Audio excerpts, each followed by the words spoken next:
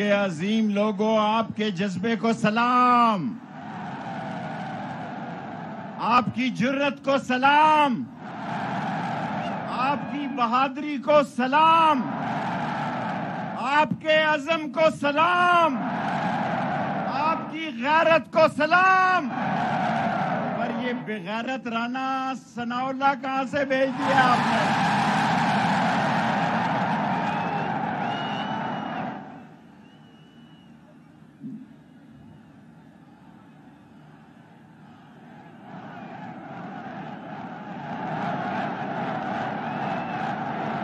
शक्ल देखो इसकी शैतानी चमगादड़ की तरह सात मई को शेर अली ने इंटरव्यू दिया कि इसने इमरान खान कहता है कि अठारह आदमी कत्ल किए। शेर अली ने सात मई को इंटरव्यू दिया कि इसने बाईस आदमी कत्ल किए। मैंने वो interview press conference army chief को भेजी डीजीआईएसआई को भेजी डीजीएमआई को भेजी और उस पर एफ़ आर आई दी कि ये कातिल बदमाश वज़ीर दाखिला नहीं आ सकता। है पंद्रह शहादती है उस पे मंशियात फरोशी के। पंद्रह शहादती हैं एएनएफ में मंशियात फरोशी के। और मेरे भाइयों जिसको सुप्रीम कोर्ट ने सिसली माफिया करार दिया, उस चोर, डाकू, बेईमान इंसान शहबाज शरीफ को रात 12 बजे दरवाजे खोल के वज़ीर आज़म बनाया गया।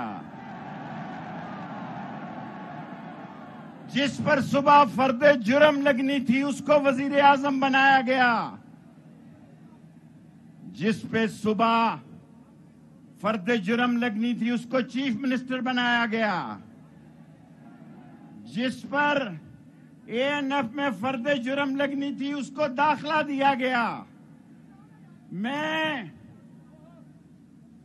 मुख्तसर तकरीर करने वाला मुकर्र हूँ। मैं ईमानदारी से समझता हूँ, शबाज शरीफ तुम इमरान खान के खिलाफ बातें करते थे कि डीजल पर सब्सिडी दी गई है।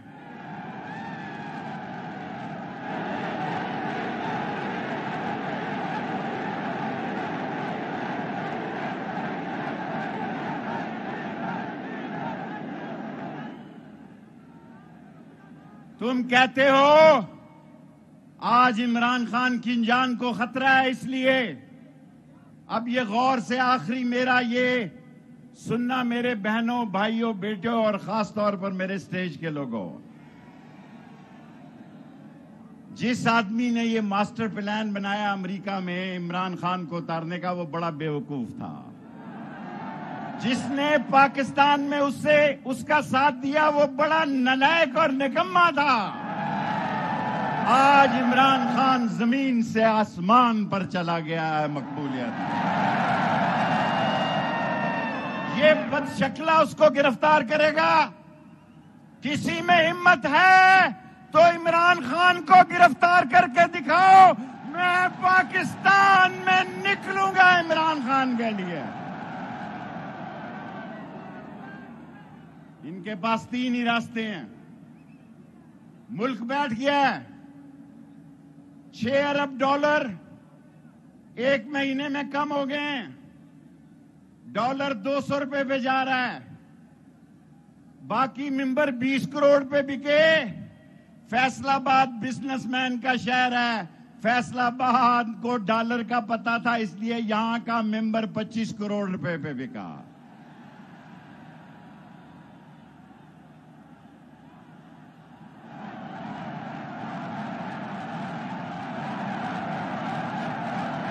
यहाँ का मेंबर 25 करोड़ पे मिले बिका और ईद की नमाज़ पढ़ने भी नहीं गया कोई भी। दो वज़ीर खारजा हैं, दो वज़ीर दाखिला हैं, दो वज़ीर आज़म हैं, दो वज़ीर पेट्रोलियम हैं। नवाज़ शरीफ, अगर तुम में हिम्मत है तो आओ ना, पाकिस्तान पासपोर्ट है तुम्हारे पास। ये जिस जहाज़ में चढ़ेगा, वो सवारियाँ उतर जाएँगी। ज़ोर ज़ोर ज़ोर।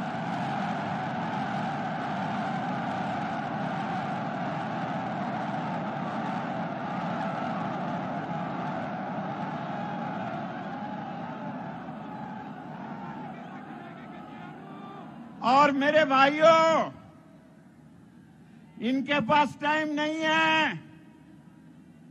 इनके पास वक्त नहीं है।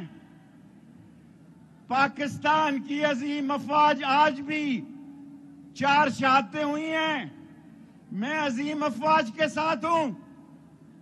मैं अजीम अफवाज को पाकिस्तान की इज़्ज़त और गैरत समझता हूँ।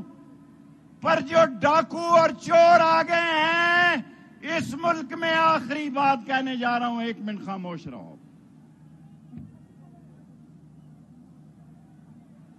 एक ही हल है एक ही हल है।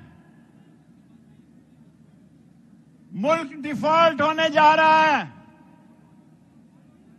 इदारे मदाखलत करें, सबको बैठाएँ, कौमी हुकूमत बनाएँ, टेक्नोक्रेट वज़ीर आज़म लाएँ और सितंबर में पाकिस्तान में इलेक्शन का ऐलान करवाएँ। और अब आखिरी बात, मुझे रस्तों में डीजल मेरा पीछा नहीं छोड़ता।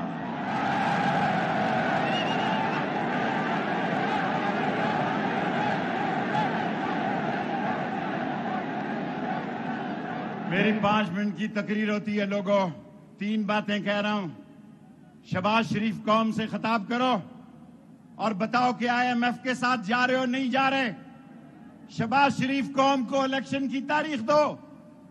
शबाज शरीफ अगर तुम ये समझते हो कि इस मुल्क में ये सिसली माफिया चोर खानदान मुल्क चला सकता है तो ये भूल है, ये कौम इमरान खान के साथ निकल चुकी है।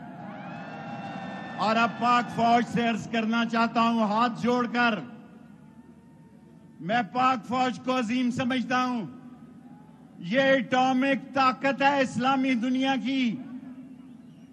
हमारा मजाइल इंडिया के आखिरी कोने में मार करता है। मैं पाक फौज से कहना चाहता हूँ कि पाकिस्तान वहाँ आ गया है, जहाँ संभालना आपकी ज़िम्मेदारी है, जहाँ संभालना आपकी ज़िम्मेदारी में शामिल है। मैं अजीम फौज को कहता हूँ कि पाकिस्तान में पाकिस्तान में जो साजिश हुई है इसके खिलाफ एक ही हल है। ये अमेरिका हमेशा गलत फैसले करता है। गलत फैसले करता है। इमरान खान ने इस्लामाबाद की कॉल दी है। मैं पाक फौज को कहता हूँ, हम अमन से रहेंगे। इस शैतानी चमगादड़ को छोड़ो। ये कहता है, शेख रशीद को घर से निकाल के मारूँगा। तेरा बाप भी शेख रशीद को नहीं मार सकता। और मैं पाक फौज को कहना चाहता हूँ कि पाकिस्तान बचाना सिर्फ़ इमरान खान का काम नहीं है। आप अजीम लोग हैं। पाकिस्तान डिफ़ॉल्ट होने जा रहा है। निगरान हुकूमत बनाई जाए, टेक्नोक्रेट गवर्नमेंट बनाई जाए और सितंबर में इलेक्शन की तारीख का ऐलान किया जाए। इमरान खान इलेक्शन से कम कोई बात नहीं मानेगा। नारे तकबीर।